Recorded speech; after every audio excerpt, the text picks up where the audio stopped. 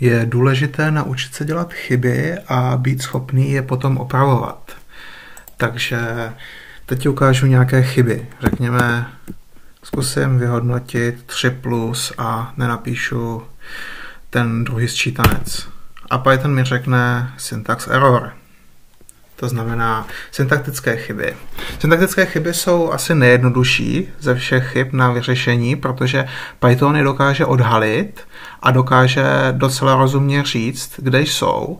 A Python nám o nich řekne, ať už jsou ve funkci nebo v kódu, který se spouští, anebo v něčem, co nikdo nevolá.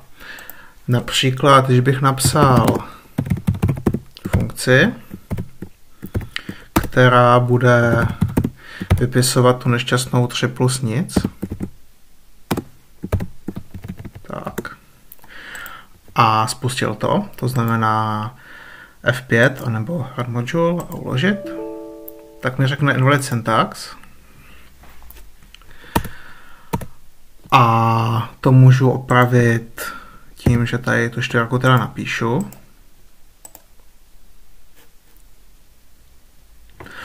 A teď uh, samozřejmě nikdo tu funkci nevolá, to znamená, nevypsal se, nevypsal se nic, musel bych ho zavolat. A teď, teď, teď, a, ale jo, jo, bože. Jo, teď už je tam vidět ta sedmička. Tak. Já to teda ještě jednou uvedu do toho chybného stavu, kdy jsme tam měli ten syntax error. Fajn, syntax error tady. A teď udělám semantickou chybu v Pythonu. To znamená, udělám něco, co Python nezvládá, nepobere. Takže třeba budu dělit nulu nulou. Dělení nulou nemůžeme.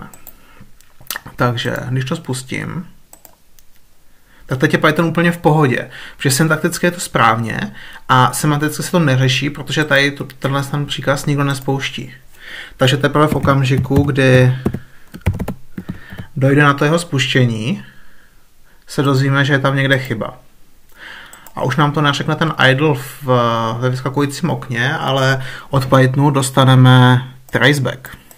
To je eh, výpis, eh, jak proběhlo spouštění. To znamená, byli jsme na řádku 4, kde jsme spustili funkci a ve funkci jsme se dostali na řádek 2 v tom souboru, kde bylo to dělení nulou a chyba je dělení nulou. Takže od zhora dolů se jakoby postupně zanořujeme víc a víc do toho běhu toho programu, to znamená do volání funkcí.